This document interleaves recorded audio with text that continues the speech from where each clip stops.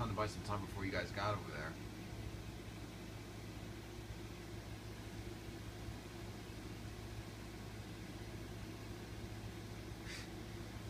Why do you say that?